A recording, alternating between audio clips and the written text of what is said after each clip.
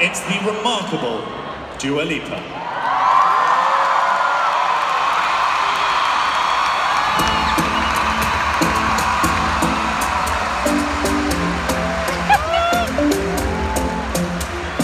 Talking in my sleep at night, making myself crazy.